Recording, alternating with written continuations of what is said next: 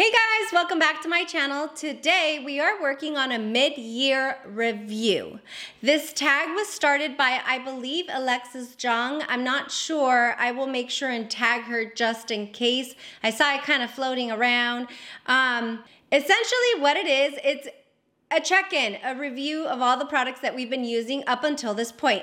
Now, I know it's a little late, it's the end of July, but instead of doing my July favorites and fails, I thought, you know what? Why don't I actually just give them an insight into what I've been loving, what maybe didn't work for me, and just give a mini review based on that. If you're a subscriber, welcome again to my channel. Thanks for coming once more. If you're new, uh, my name is Yadi, and we like to focus on makeup, skincare, fun unboxings. We do a lot of giveaways on this channel. So if that sounds like fun to you and you want to be part of a community that uplifts each other, that loves each other, um, really helps each other with makeup questions, skincare questions, different suggestions on tips and tricks, then stick around, subscribe. Come join part of our family.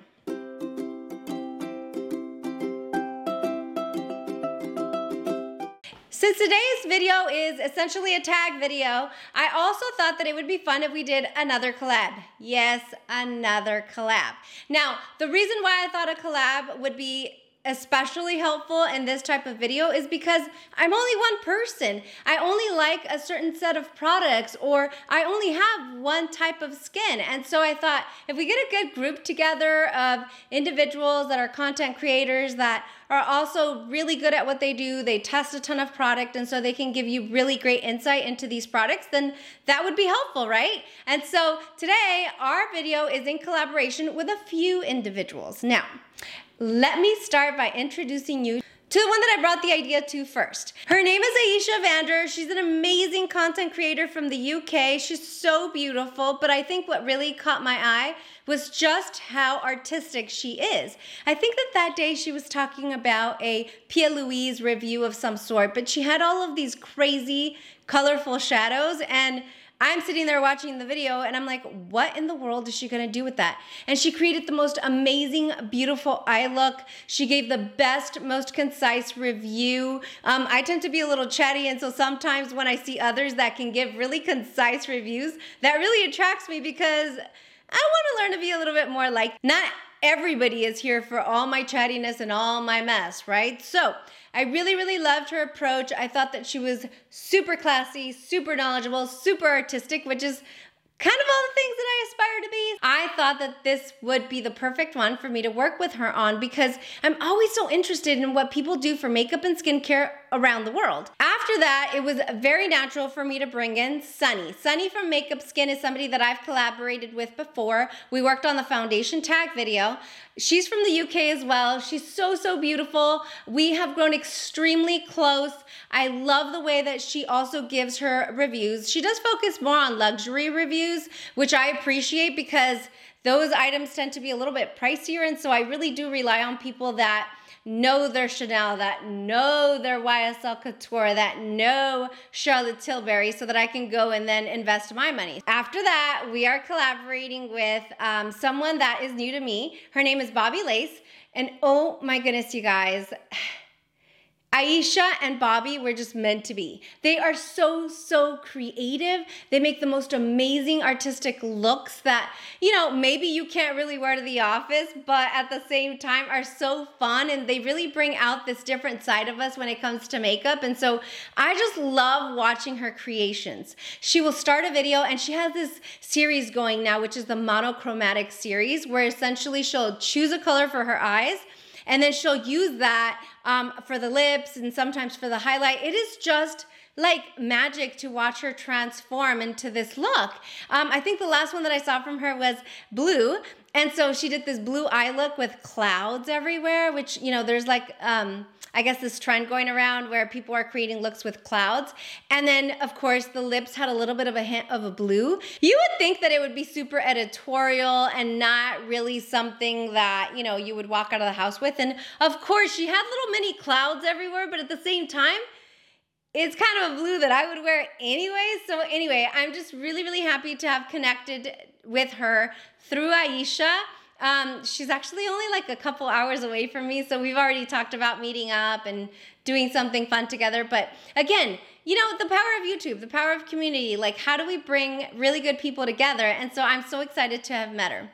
Um, we're also collaborating with uh, someone new to me. Her name is Alicia Martinez. Um, and she's such a gorgeous, gorgeous girl. She does really beautiful looks um, in a very simple way. I feel like when I watch her do some of the looks that she does with her eyeshadow, she's very soft spoken and she's very real. And she goes in there and very easily creates this beautiful look. The way that she does everything and the way that she approaches things and how she talks to you through camera just makes you feel like you're sitting in the room with her. And so, you know, I am very, very happy to be connected to her. And then last but definitely not least, I mean, very quickly became one of the closest people to me is Kara from Beauty and the Frizz. Um, you know, I just, I've grown to really, really trust her suggestions on makeup, on different brands that I haven't tried, as well as just bouncing ideas off of her creatively. And uh, there's very little that I want to do where Kara's not involved. And so I'm so happy that she agreed to do another tag with me. This is super, super long, but I wanted to really spend the time to talk about each and every one because they're all so special. Let's get right into what my mid year review is. Um, I will leave all the questions down below. I will tag Alexis Jong. I, I think she started the tag. I want to give her credit. So I'll definitely tag her channel down below. And I'll also leave the questions um, listed out so that if any other content creator wants to do this now or maybe at the end of the year, I think it's a great way for you to give many reviews to your subscribers so that they kind of see what you're doing and how you feel about certain products that you maybe have mentioned once or twice. Um, they want to know. And so this is how we do it. So let's get started the way that I'm gonna start, which is the way she started, was by giving uh, my top 10 products. I'm gonna do a very speedy review on each one and why I love them, and then we'll get into the questions that really curate our favorites for mid-year 2020. The first beauty product that I absolutely love that I purchased in 2020 is this Sonia G Sky Set of brushes. They are absolutely beautiful. I'm definitely diving into natural hair brushes. I don't know too much about them, but they totally changed the way that my eye application um, goes down. They blend out colors so seamlessly. They're so beautiful. They're so soft. They don't tug on my eye or feel harsh. And I love them. This is my number one top pick for favorite products mid-year 2020. Number two is my Wayne Goss large brush with the collection that he launched a couple months ago. It was three different brushes, but this is my favorite brush of the bunch. It's very, very soft. It's contoured so that it specifically fits this groove area here. I use it for my bronzer. This is a everyday use. I don't use any other brush for my bronzer now, and therefore, let me just show you guys what it looks like.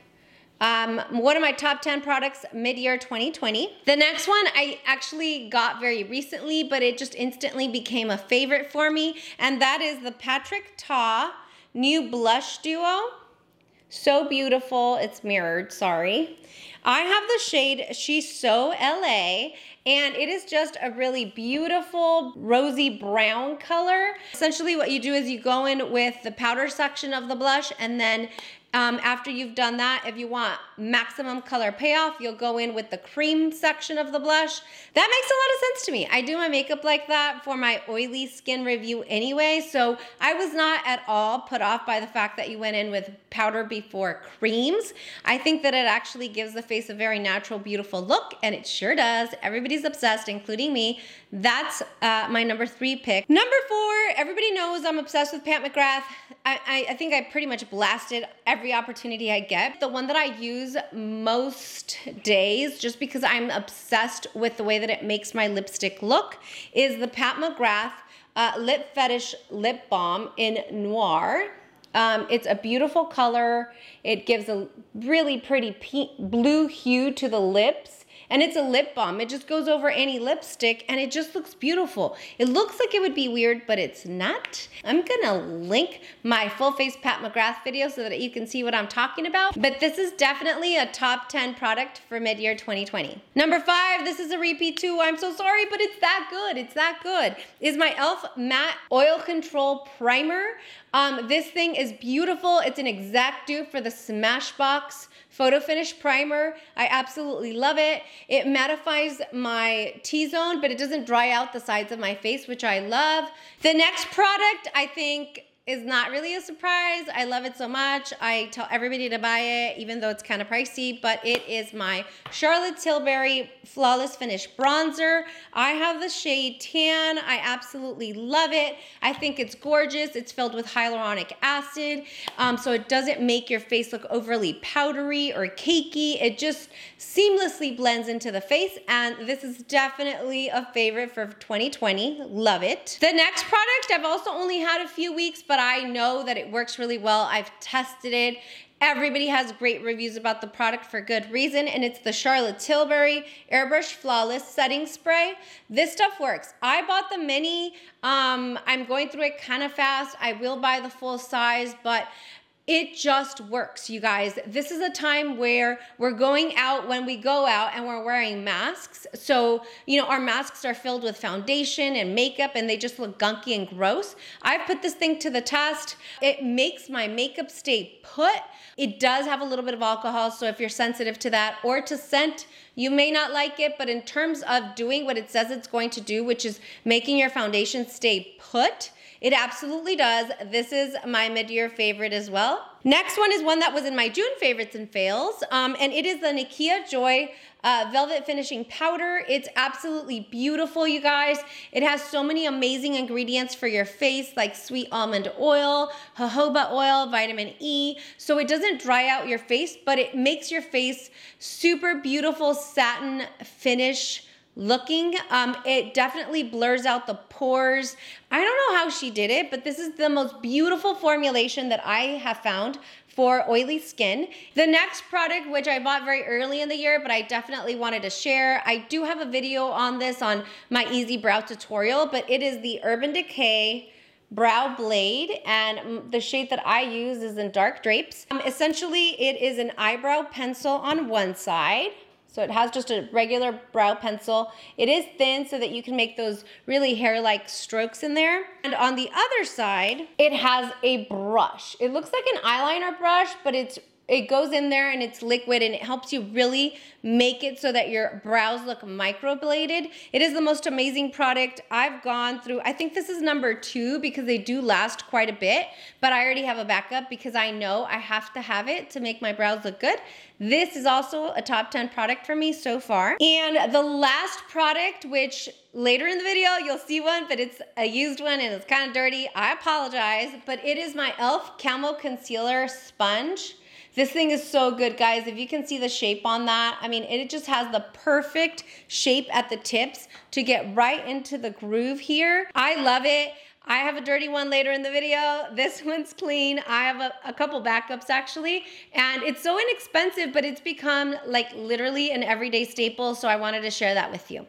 Okay, so let's get going on the rest of the products. There is eight very specific questions that really helped curate our list for favorites of mid-year 2020. So let's get into those. Okay, so number one is the most disappointing purchase. Like, let's just lay it out there. This year, I thought, you know what? I've waited long enough. I have always resisted doing this, but I really, really want to try the La foundation. And if you guys don't know, this foundation retails for $120. Um, I will put the picture up here. There's a reason why I'm not holding up that foundation because it is my most disappointing purchase for 2020. I purchased it because, you know, I want to know, like, why is it $120? It has this magical seawater uh, concoction of some sort or algae water, whatever it is, you know? And I wanted to know. Um, I didn't have a YouTube channel by then. Uh, I was just really, really curious. And so I purchased it during the VIB Sephora sale earlier this year got 20% discount, so it wasn't a full $120. And wah, wah, wah, the most disappointing purchase of 2020 thus far.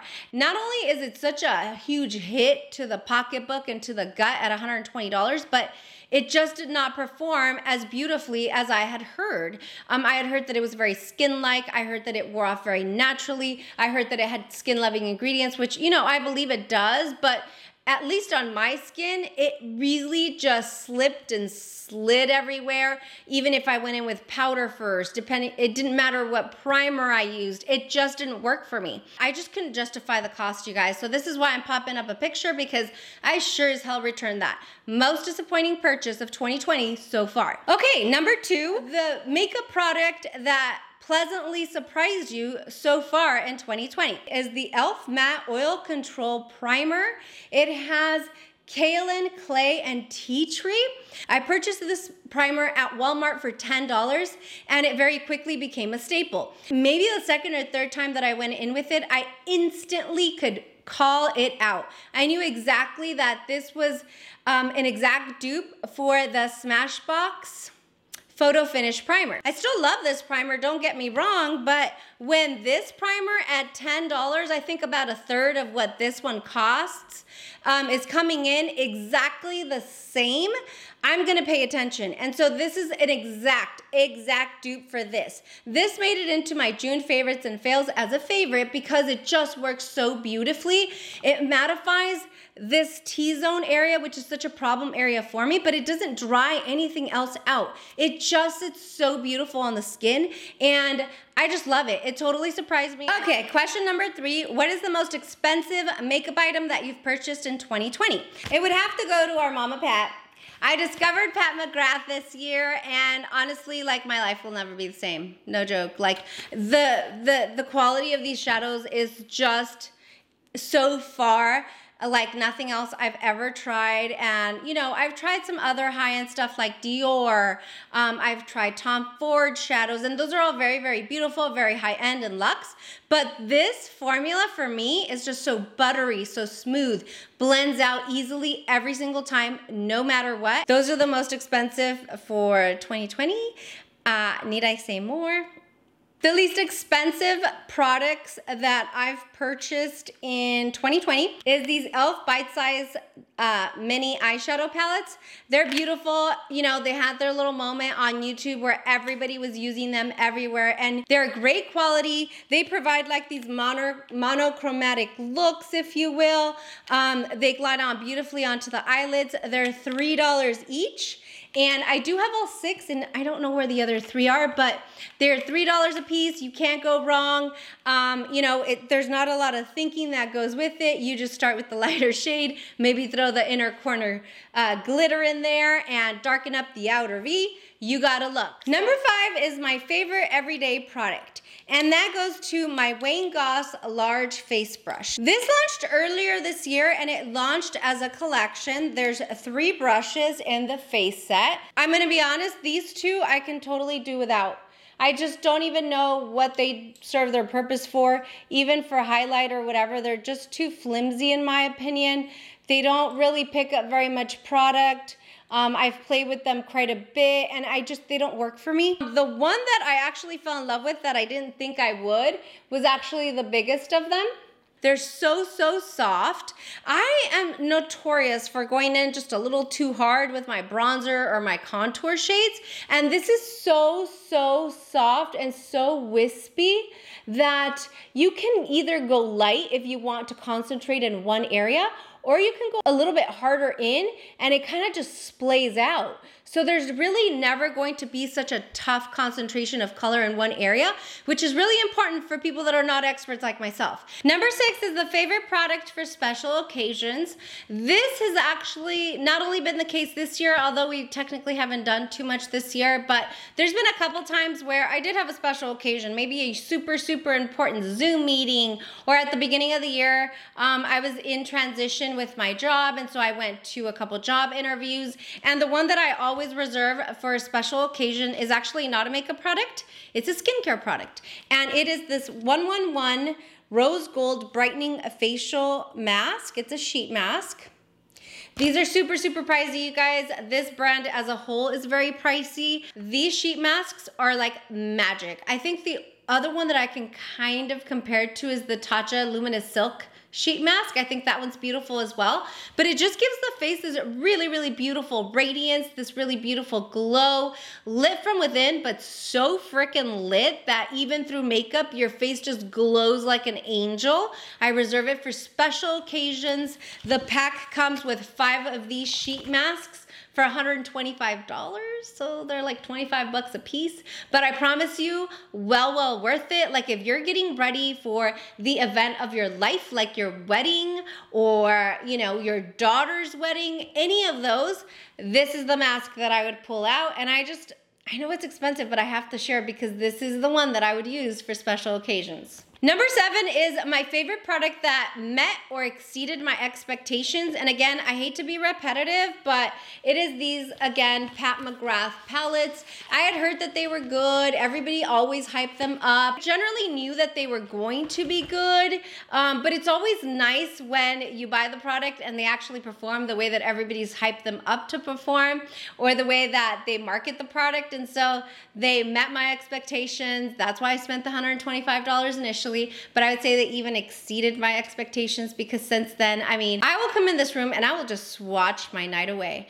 Um, they're just so beautiful. I play with them all the time. I may not use them on camera all the time, but in my daily life I do. Um, I play with color a lot, you guys. Like, I think I always say this like glitter all day, every day. And so it doesn't really matter if they're a bold color or a loud color or whatever.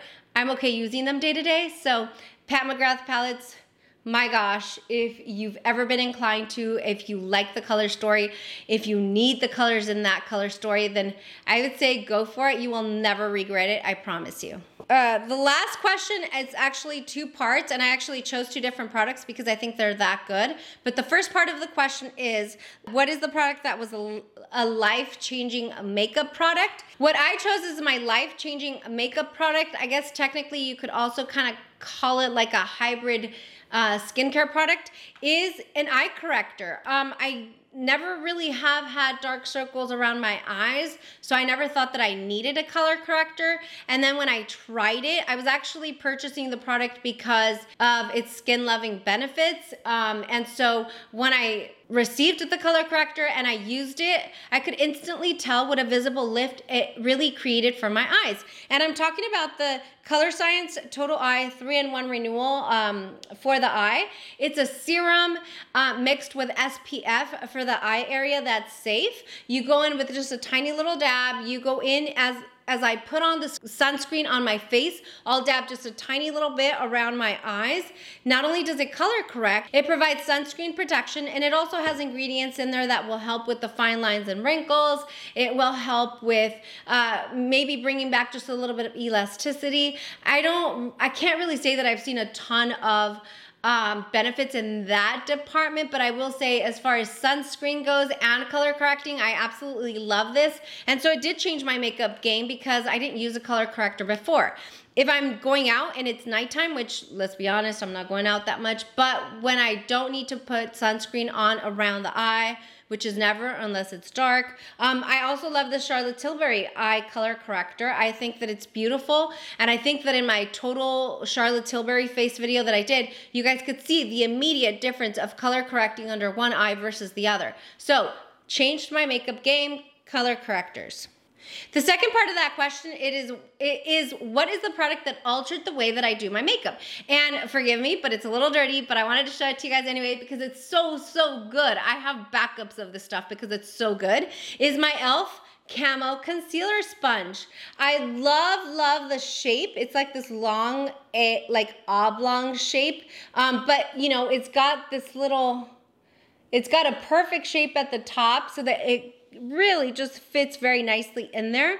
Um, in the past, the way that I had done my concealer under my eyes, I would go in with a concealer brush and I would just pack on the product to get maximum payoff of the product. And then I would just quickly go in with my finger and just kind of dab, dab, dab. I, I don't know. I'm just of the belief that when you go in with a wet sponge, it really gives the skin just such a skin like appearance. It looks hydrated, it looks dewy. Um, you know, I go in and I set with powder in areas that I want set, but this just makes the makeup or the concealer just melt right into my skin, just like a wet sponge would around the face. And so it has literally altered the way that I do my makeup because I absolutely have to have a wet sponge under my eyes going in general every single day now. Hey guys, I completely forgot to record my outro. I don't know how that happened. Anyway, just wanted to say thank you so much for watching. Please don't forget to check out the other content creators that I collaborated with on this tag. Their channels are listed down below. See you guys tomorrow. Bye.